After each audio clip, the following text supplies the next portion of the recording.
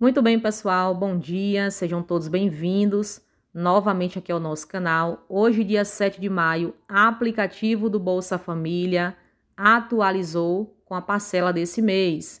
Então, atenção, porque hoje você já pode verificar se o seu benefício está liberado, bloqueado ou cancelado. Aqui já consta maio de 2024 o benefício liberado, disponível para saque de acordo com o final do seu NIS.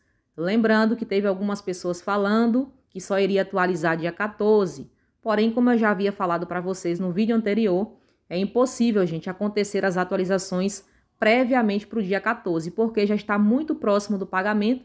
Falei para vocês que o MDS já tinha falado que seria a partir do dia 7 ao dia 10 e realmente ocorreram as atualizações.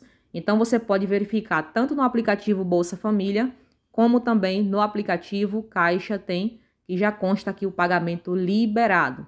Então comente aqui no campo dos comentários que é muito importante, se inscrevam no canal, até a próxima e fiquem com Deus.